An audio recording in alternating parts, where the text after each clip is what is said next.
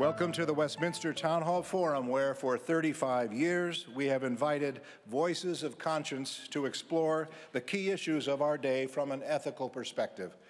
My name is Tim Hart-Andersen. I'm senior minister at Westminster Presbyterian Church, located on Nicollet Mall in beautiful downtown Minneapolis, and moderator of the forum. Tonight's guest speaker, Patrick Kennedy, will be introduced by his good friend and by our esteemed former U.S. Congressman Jim Ramstad, who represented Minnesota's 3rd District from 1991 to 2009. Mr. Ramstad, we're honored to have you here with us tonight. Thank you. Thank you. Thank you. Thank you. Thank you for that warm welcome. Our speaker for this evening has been called the nation's leading advocate for mental health and addiction policy and research. The New York Times called him the public face of addiction in America. Were President Kennedy, Patrick's uncle, alive today, and were he to write a sequel to his celebrated award-winning book, Profiles in Courage, there's no doubt in my mind that his nephew, Patrick Kennedy, would occupy a full chapter in that book.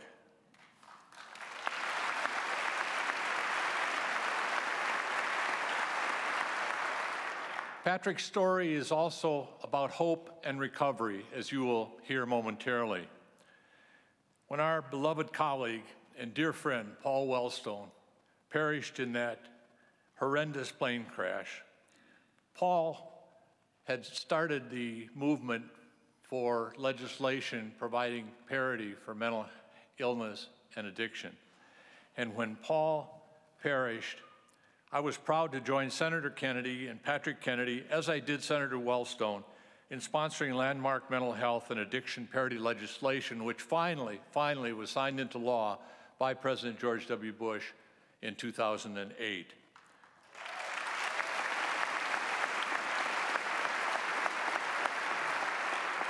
But to me, the speaker for this evening is more than just a former colleague. He's the little, little brother I never had.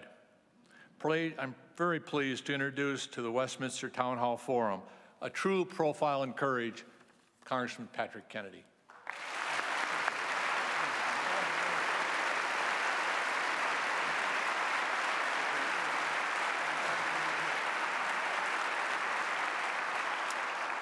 Thank you very much, Jim. You, you read those cards just as I had written them down. I am blessed, blessed to have Jim Ramstad in my life. And you are blessed to have him as your congressman. And this nation's been blessed to have his leadership on this issue of coverage for addiction. Because keep in mind, the bill that Jim mentioned is called the Mental Health Parity and Addiction Equity Act.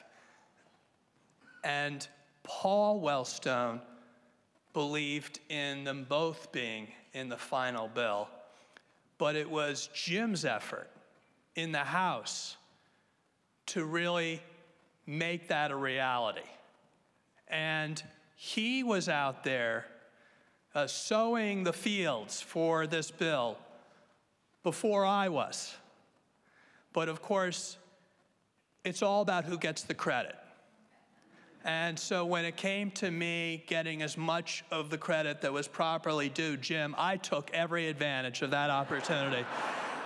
and will barely mention his name in passing whenever I have a chance.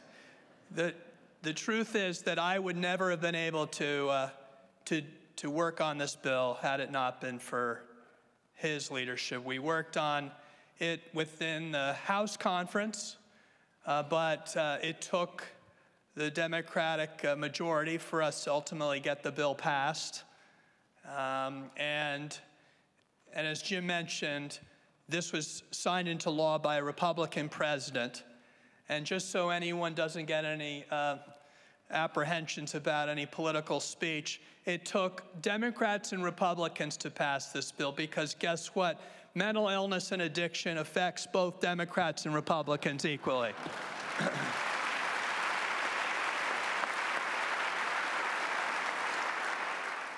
So uh, I, I, I couldn't believe when they said there would be a big audience at the Westminster Town Hall, how big it was going to be.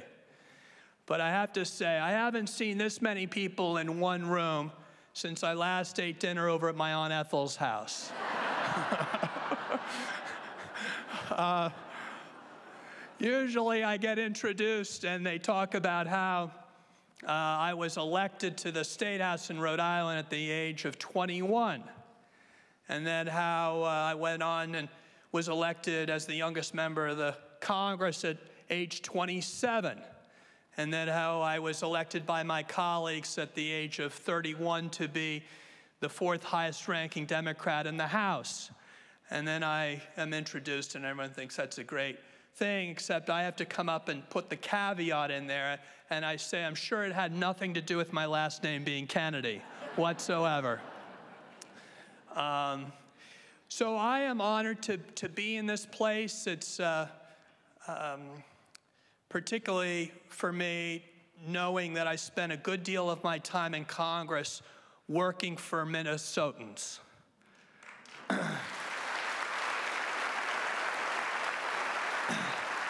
if you can believe it, I, I lived right next door to Paul Wellstone.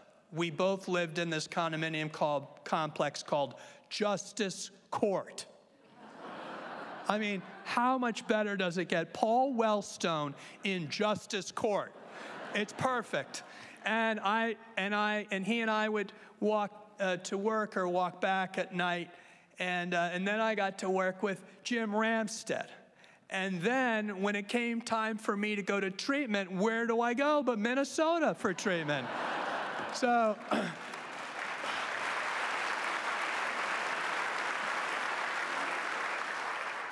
Um, so we'll, we'll do, uh, jump into questions. Um, I think that'll be the most interactive and allow all of our time to go fast. But I'll just start by saying uh, I left Congress uh, in 2011, and I didn't know what I was going to do with myself, so I uh, figured that uh, no one was returning my calls because Jim knows this when you're a former member of Congress, you fall off the face of the earth.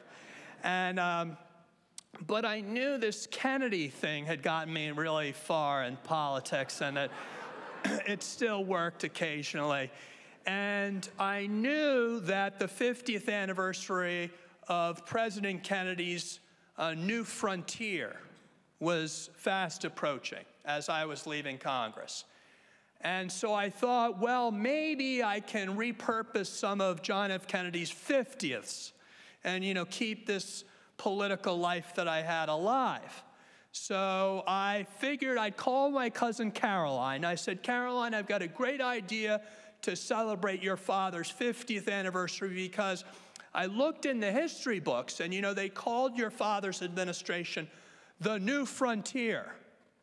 And I said, I was just in a meeting with some top neuroscientists, and they told me that the brain is the last medical frontier.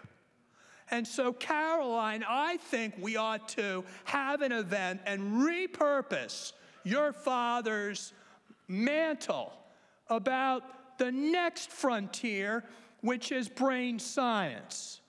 And Caroline said, Patrick, I love your enthusiasm for the brain. I just, so excited. You're so passionate about the brain. She said, but we've already got the president coming and the speaker in both houses, and they're going to honor daddy and his legacy. And I'm like, oh, well, I figured it was a try.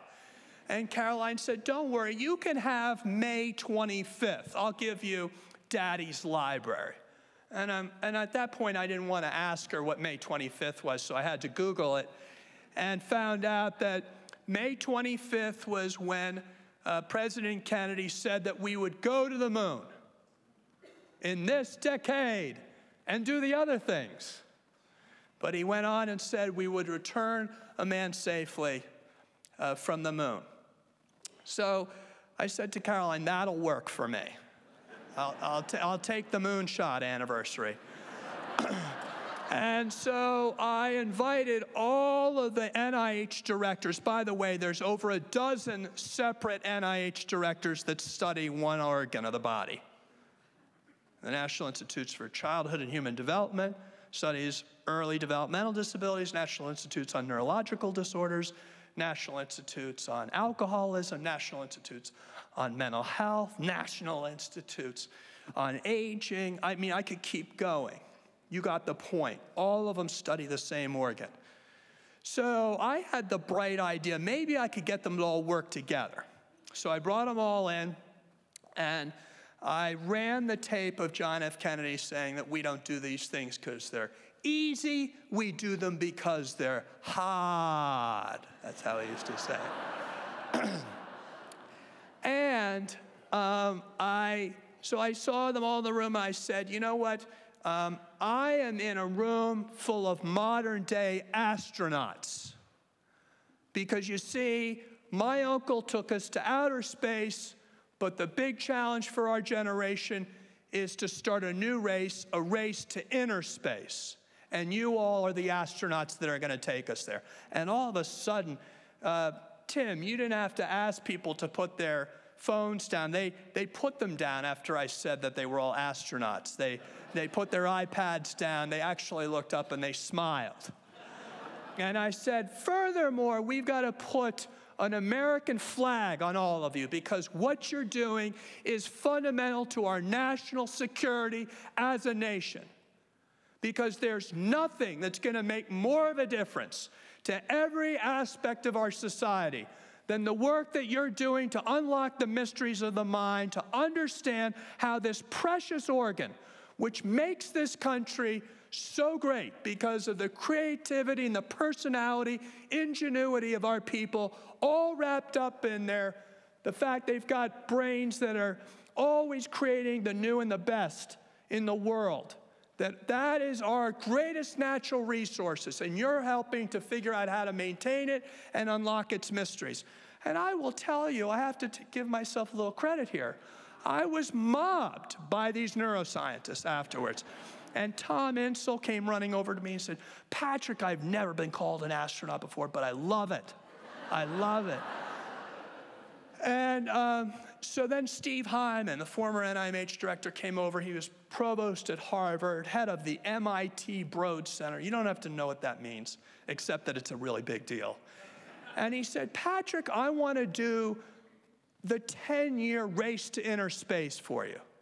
And I'll call all my former NIH colleagues and get them to participate. And I said, You're on.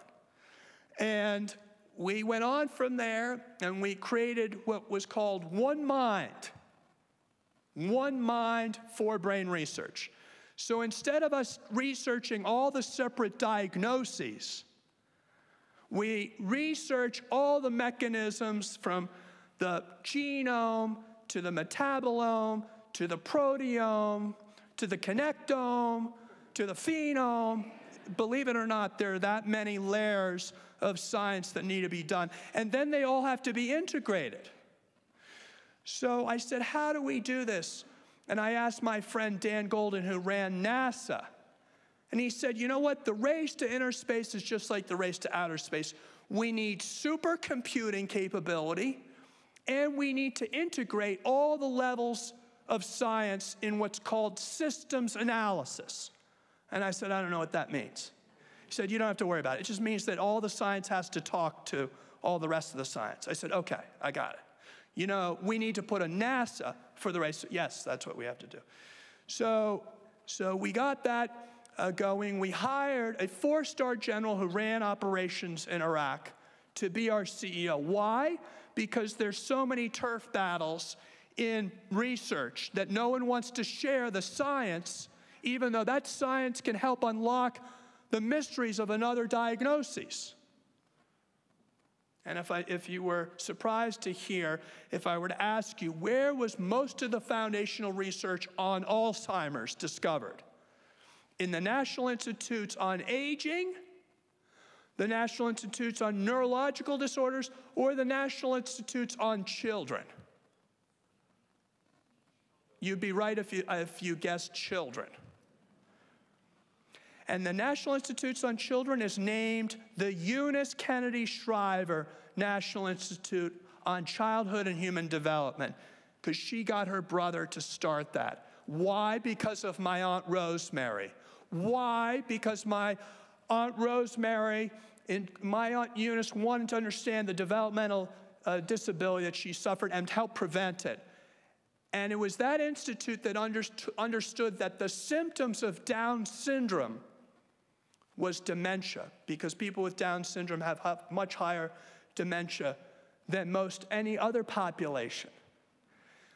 How could my Aunt Eunice have known when she got that institute started 50 years ago that her late husband, my Uncle Sarge Shriver, died of Alzheimer's? That all five of my Shriver cousins are now worried about having Alzheimer's? But that we're closer to unlocking the mysteries of Alzheimer's. Why? Because 50 years ago, we started researching dementia for people with Down syndrome before anyone even knew what Alzheimer's was.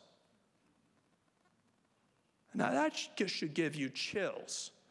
That Eunice started it to help understand developmental disabilities, and the research that came from that is helping to unlock the door to the disease that all of her five children are worried about succumbing to. That illustrates my point that all of this science has to be seen in a holistic way. So I figured this really works. So, what's the next 50th JFK anniversary that's coming up I can take advantage of? So, now that we've, worked, we've brought all this fragmented neuroscience together, how are we going to bring the fragmented mental health field together? So, wouldn't you know that the last bill that John F. Kennedy signed into law was called the Community Mental Health Act signed into law shortly before he was assassinated. And at the signing ceremony, he said, The mentally ill need no longer be alien to our affections or beyond the help of our communities. Now, if President Obama or any candidate wanted to encapsulate in one sentence what the challenge before this nation is in tackling all issues related to mental illness and addiction. They could use that quote and have it capture the whole essence of the challenge that this country faces in all its areas.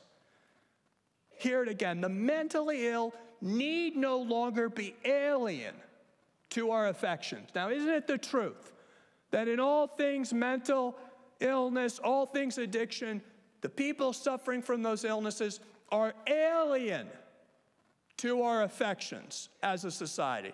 That's why we're in such desperate shape as a country in terms of dealing with these epidemics. Epidemic. And no one wants to deal with it because the people suffering from these illnesses are alien to our affections. But President Kennedy didn't say, or beyond the help of our psychiatric hospitals. He didn't say beyond the help of our psychologists or our psychiatrists. He said beyond the help of our communities. And that, my friends, is the answer for this country if we want to understand how we're going to address this challenge. Because this is no longer that someone else's business. It's no longer the business of the mental health system. It's no longer the business of the healthcare system or the criminal justice system or you name it. It's all of our challenge. And when John F. Kennedy said, beyond the help of our communities, he was illustrating what the answer to this is, and that is that it's going to take all of us to be part of the solution. So we had kicked off another uh, organization. I named it the Kennedy Forum. And uh, the, the whole mission of the Kennedy Forum is to advocate for the civil rights of people with these illnesses. Because before he signed this into law, he gave another famous speech that was perhaps one of the most famous speeches of his whole administration. And when he talked about the moral challenge of his time, which was civil rights. And he said, Who amongst us would be willing to trade the color of their skin and be content with those who counsel patience and delay? And if you hear anything about where we are with those suffering from mental illness or addiction today, everyone's saying, well, let's wait.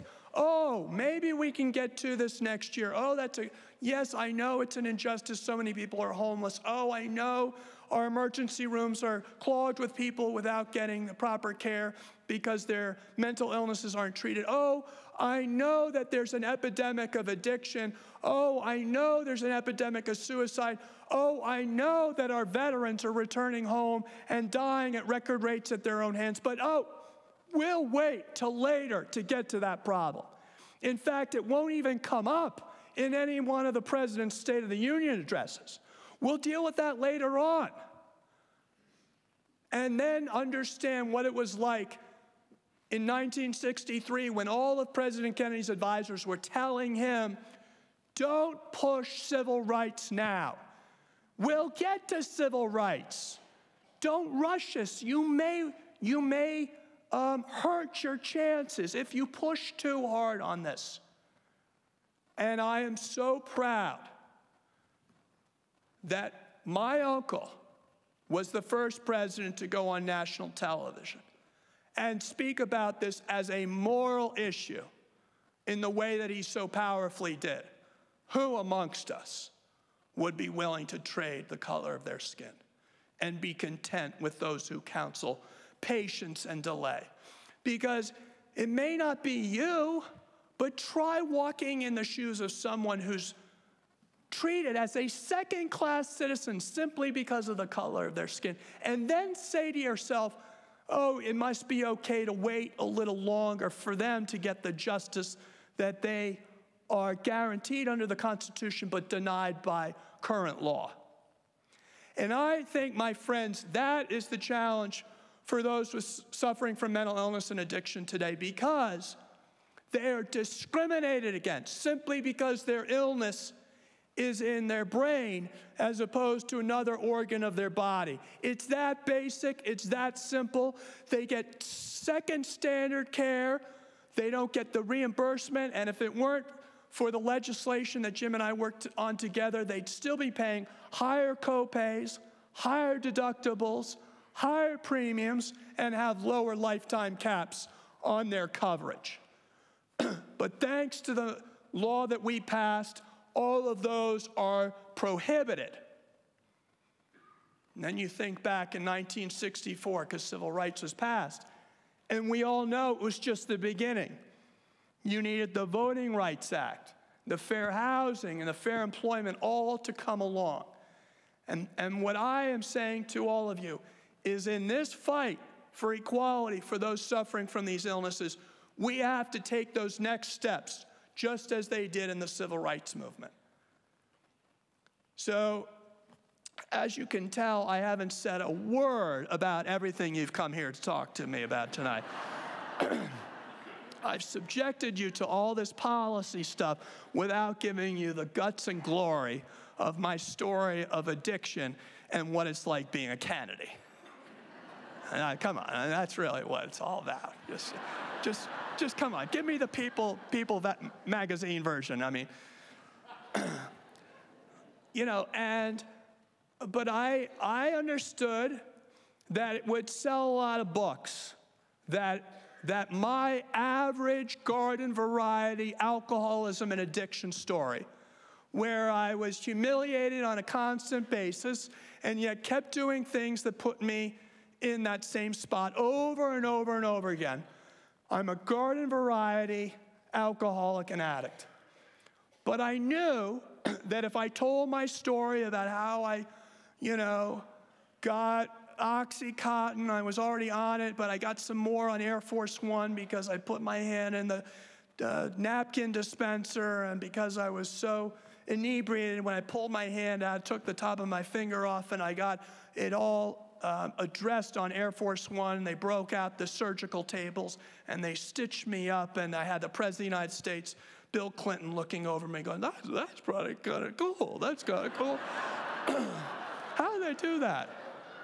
And then I had the, uh, the doctor just give me more Oxycontin to my joy, even though that was the reason I had gotten my finger stuck in the napkin bin. I mean, these are great stories.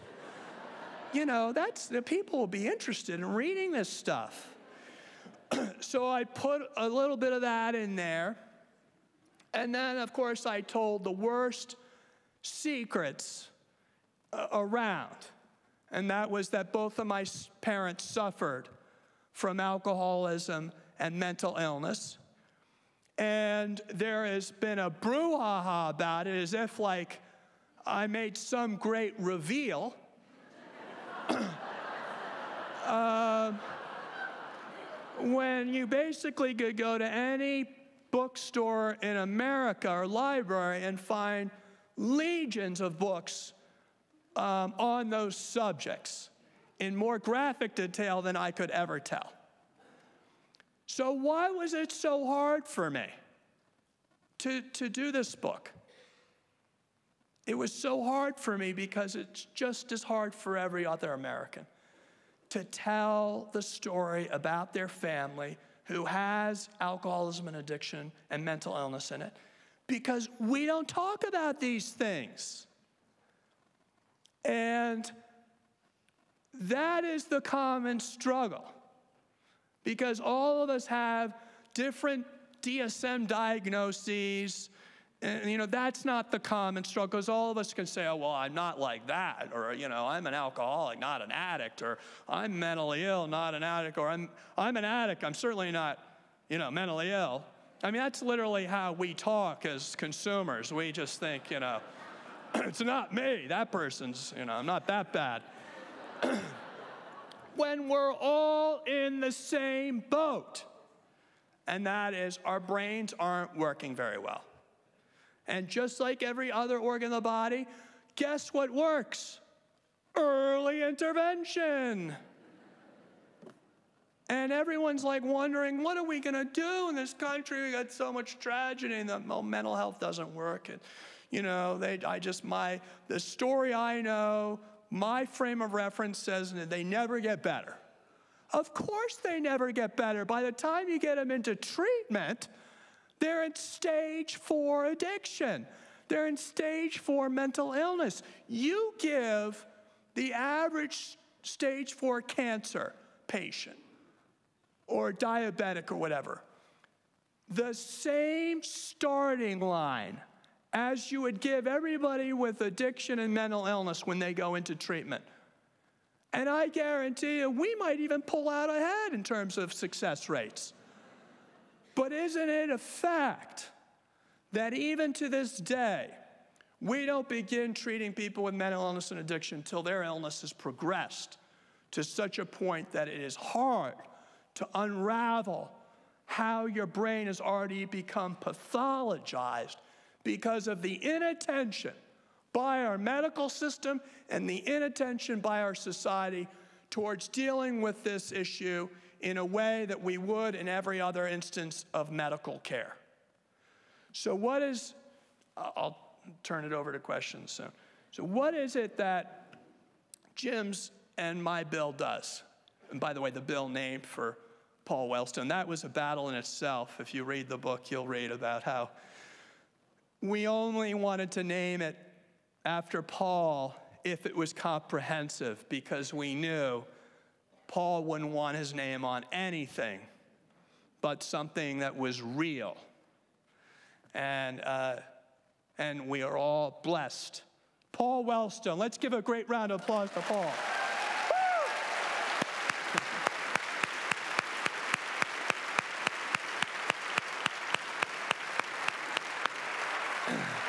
So that bill, I hope I get it right, Paul. Okay, it says whether you're inpatient in network or outpatient in network or inpatient out of network or outpatient out of network or you need emergency room care or pharmacy benefits if you provide it to the stroke victim if you provide it for the cancer patient if you provide for the diabetic or the asthmatic By law, you need to provide it for the person suffering from a brain illness, and it needs to be equivalent or analogous care, meaning you've got to provide the same primary, secondary, and tertiary levels of care that you would provide those other patients for the other medical challenges. Can you hear me, United Healthcare? Can you hear me?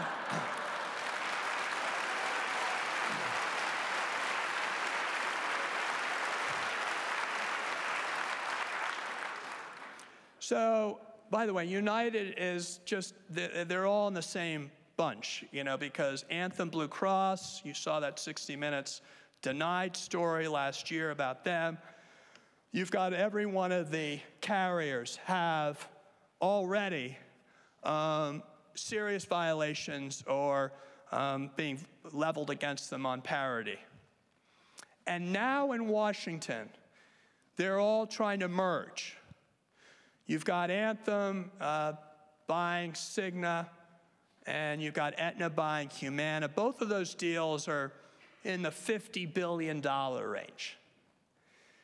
And do you think anyone is knocking on the Department of Justice's door and saying, before you approve that merger, maybe they ought to follow a federal law that guarantees equal coverage for people with mental illness and addiction, given the, the incidence and the epidemic of those illnesses and the track record of all of these insurers. I'm sorry to say to you, no one's knocking on their door to do that. Because what Jim and I found is that the advocacy in this space is next to nothing. God bless NAMI, and they do a fantastic. And Mental Health America, we never would have done our parity hearings without them.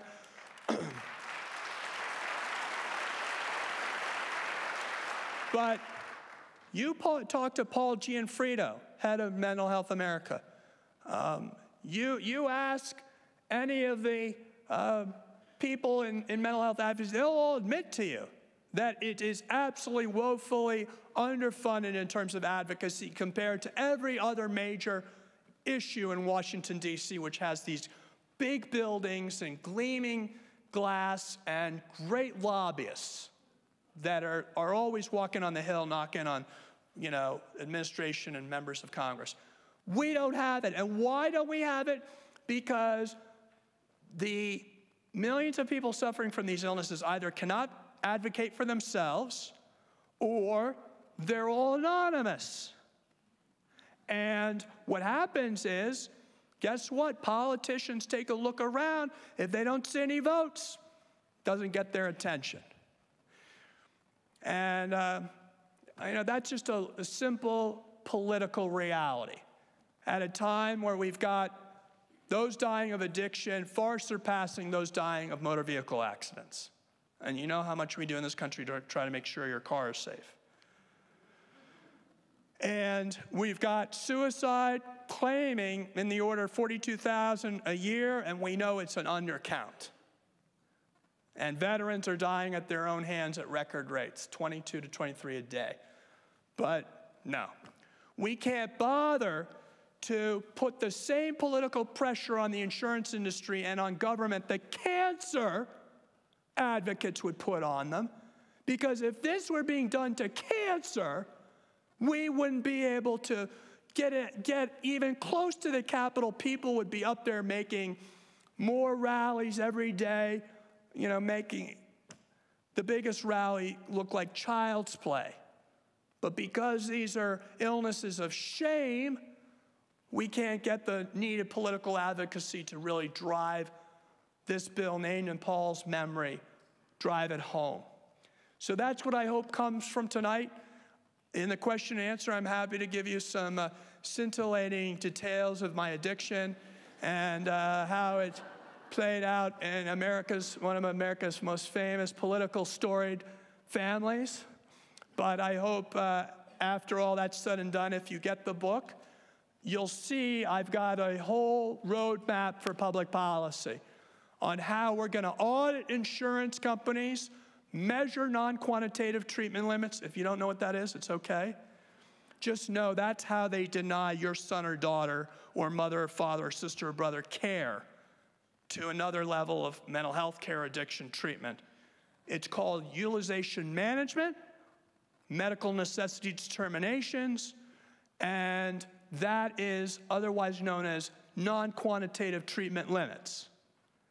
And you can know why they get away with it because that seems esoteric, but in fact, that's the difference between your loved one getting the care they need or getting denied and kicked out of detox.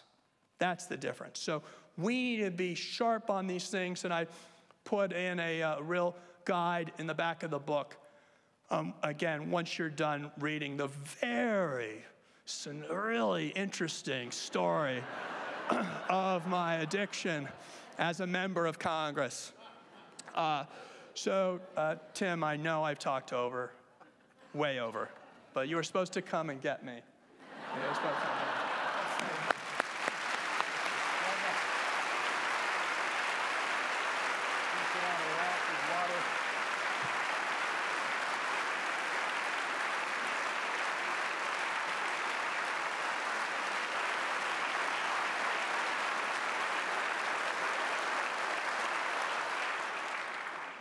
Thank you, Patrick Kennedy. You're listening to the Westminster Town Hall Forum broadcast from Westminster Presbyterian Church on Nicollet Mall in downtown Minneapolis. I'm Tim Hart-Andersen, Senior Minister at Westminster Presbyterian Church and moderator of the forum. Our speaker tonight is Patrick Kennedy, who served in the U.S. House of Representatives for 16 years, where he co-sponsored the Mental Health Parity and Addiction Equity Act of 2008. He is the author of the new book, A Common Struggle. While the ushers collect questions from the in-house audience, let me extend a special thank you to the co-sponsors of this forum, the Westminster Counseling Center and the online news source MinnPost. For information about these organizations, visit their websites at westminstercounseling.org and minnpost.org.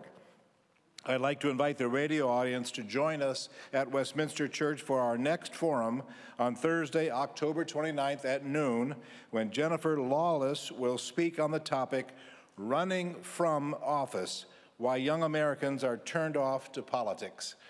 And now, Mr. Kennedy, if you'll return to the pulpit, I will present the questions from our audience.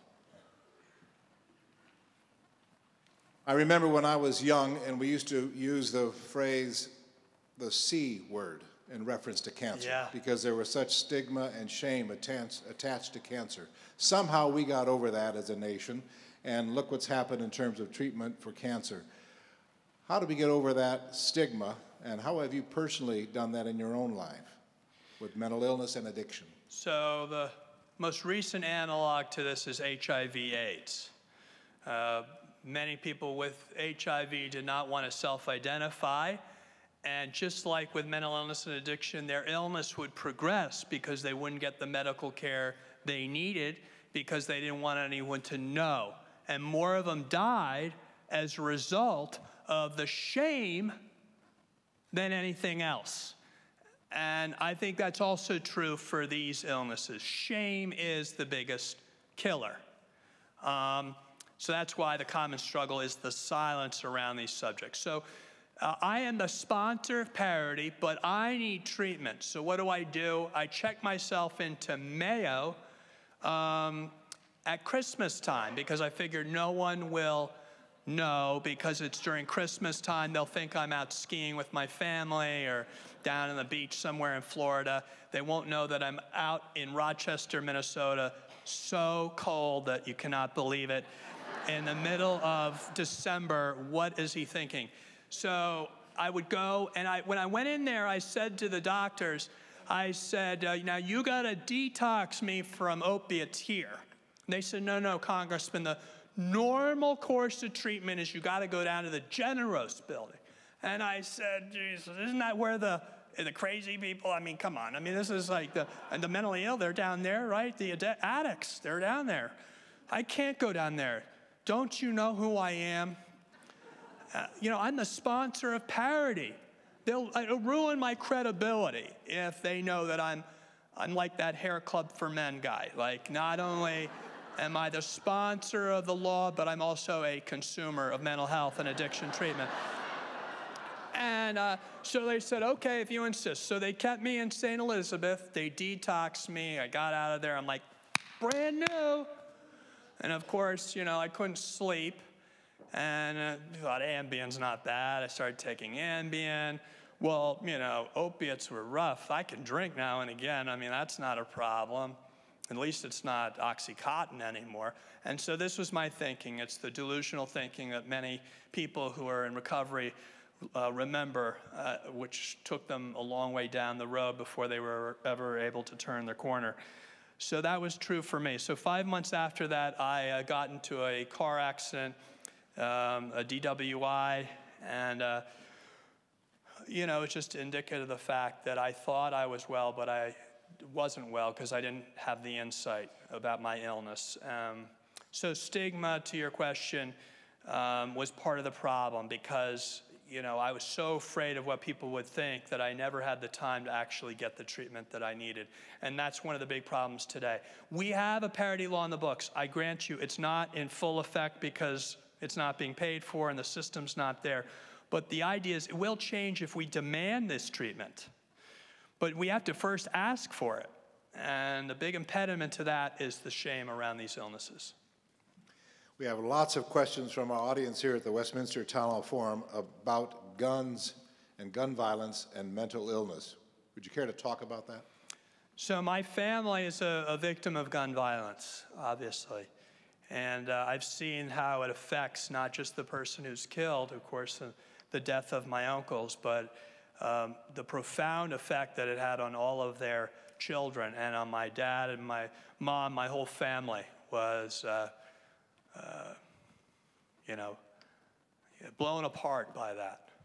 And it was a mur- there were murders, violent murders. So I, uh, my heart goes out to all those families who are going through this, who are going to live with this for the rest of their lives. It'll cross our headlines you know, we'll go on to the next tragedy, but every single one of those families and every single one of the families who, who lose a loved one tonight in many places in America due to gun violence, they're going to live with this the rest of their lives. The, the impact is well beyond the total um, numerical number of deaths due to guns every year. It is the magnified because of every single family member and loved one that those people who died um, affected. So all I would say is um, we definitely need to address guns. I, I uh, wrote the seven day waiting period in Rhode Island, and we added a background check for police chiefs that was not subject to the BCI check. In order to, for it to be a BCI check, you have to have a felony. Most police officers know which homes they're, they're sending cars out to on a regular basis. And many times those are late nights and domestic violence, none of which gets, uh, all of which gets pleaded down. So it never ends up as a felony. And so my point is, is that we need a much thorough background check than what we have. We did it in Rhode Island. I know it can be done because we did it. Um, and we need a much better mental health system.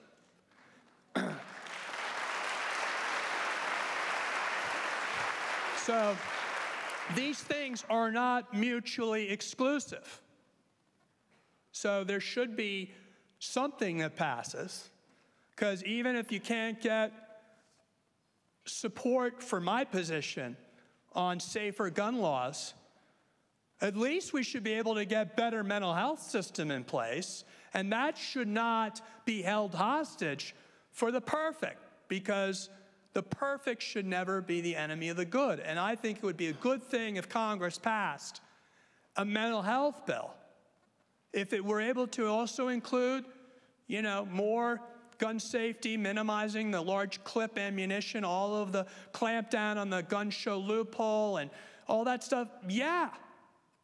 But I'm not going to make that a, a litmus test on whether I support a mental health bill passing. And I hope the Congress doesn't as, uh, either.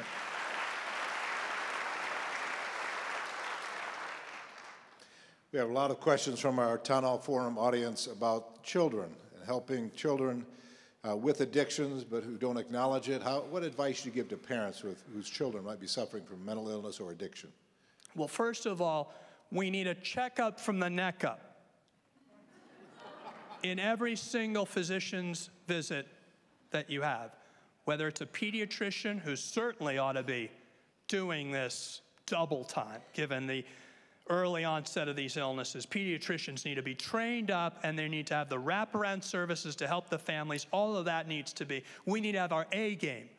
But we also need checkup for the neck up for, you know, obstetricians. And we need to check up for the neck up for our geriatricians, because addiction's also skyrocketing, skyrocketing amongst our elderly. The point is, if we make mental health and addiction care normal, normal part of healthcare, then it won't seem like such a big deal because you want to go in there. Well, what's my lipid level? I mean, do I need to be on that cholesterol drug or not? Or how's I, how am I doing on this? I mean, wouldn't it be great if we were kind of having this conversation because we all wanted better mental health care? I mean, can you imagine? Like where we actually wanted to be healthier mentally? I mean, perish the thought, you know, that that as a nation, that that would be something that we would desire as consumers. Um, so we have to change the thing. We have to be all about producing healthier, mentally healthier children. And that means giving them coping skills, um, helping them deal with stress, toxic stress. All of those things ought to be embedded in our healthcare system. Um, and therefore, we wouldn't have to wait. Well, I wonder whether he's abusing his Adderall and, you know, or smoking too much marijuana or blah, blah, blah. You know, this should have been like, that conversation should have been before all of that. The Minnesota National Guard has the si highest suicide rate in the country. For veterans returning to the communities that sent them to war, what effect does the involvement of the whole community have on the health and recovery of veterans? Well, we could spend the next week talking about this, but I would just emphasize my previous point about making sure we audit insurance companies. And, and United ought to start with the name United. You know what no one realizes? 72% of all returning veterans will never darken the hall of a VA in their lifetime. Did any of you realize that? Didn't you think that all these veterans just went to the VA? Eh, not true. Because you know what? Most veterans are Guard and Reservists. You realize that our Guard and Reservists are over half the force we send to our wars in Iraq and Afghanistan, which means when they return, they return to their employer. And my point is if their employer does not have employer sponsored health care, that covers mental health and addiction, guess what's going to happen to those veterans? They're not going to get their signature wound of war treated by our medical system because insurance companies are denying mental health and addiction coverage at a higher rate than they would the rest of physical medicine. So, my thing would be our Fortune 500 companies ought to beware because if they think the VA scandal was bad about veterans not being able to go see a physician, imagine when, when, when you know, JP Morgan or Walmart or FedEx or one of these companies that are good enough to hire all these veterans actually stumbles upon the fact that their employer sponsored health care has a phantom network of mental health providers. So when those veterans in their course of employment need these services because they served all of us and can't get them, it's because we haven't properly enforced the Mental Health Parity and Addiction Equity Act. So we need to do parity for our patriots. That would be my answer because we could all feel awful about the terrible plight of our veterans. But if we're not prepared to do something about that, then that's a lot of hot air and talk. And we should be over the hot air and talk with the number of our veterans that are dying every day because of a lack of attention to what their real needs are, and that is proper coverage in these areas.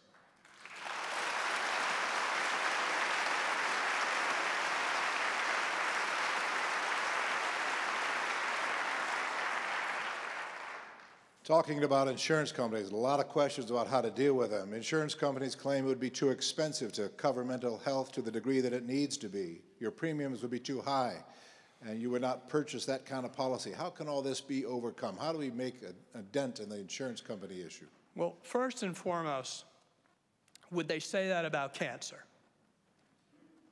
They say, oh, well, you know, it costs me a lot of my insurance dollar to pay for diseases of cancer.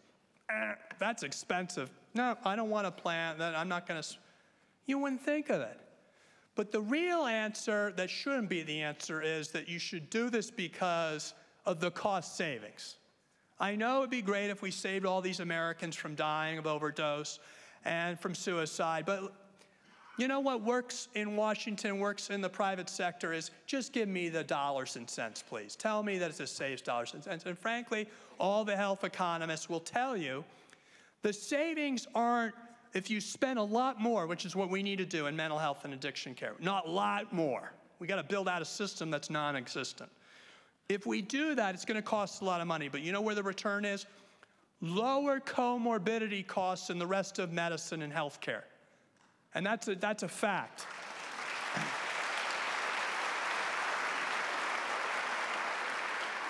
Four times the rate. I have to quote Jim Ramstad all the time. Four times the rate if you have an untreated mental illness or addiction, the rest of their health care costs.